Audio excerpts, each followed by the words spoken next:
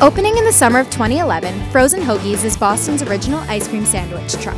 So when we started, there were not many trucks at all, um, and we just thought it was it was taking off in other cities like uh, L.A., San Francisco, Austin, New York, um, and it was starting to in Boston. So we saw that it was a, a great opportunity to get in lower cost than building out the restaurant.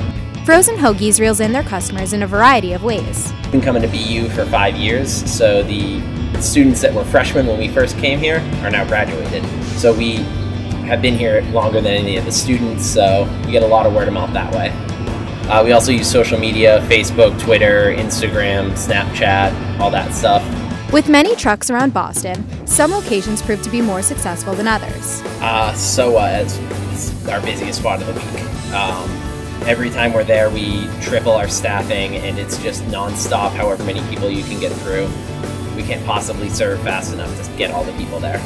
After five years of trucking through Boston, Frozen Hoagies decided to invest in a storefront to expand their business and better prepare their treats. Uh, so the cookies we bake fresh every day, um, so that they keep throughout our, our, shift. And the ice cream we have a freezer, um, so the ice cream will keep for way longer than we need it to. Um, usually it's turned over every week or two, and it's made in Arlington Center, small batch, uh, a place I actually used to work called Chili Cow. With summer around the corner, make sure to keep your eyes out for frozen hoagies. This is Alison Ortiz reporting for the Weekly Buzz. Check back next week for another episode.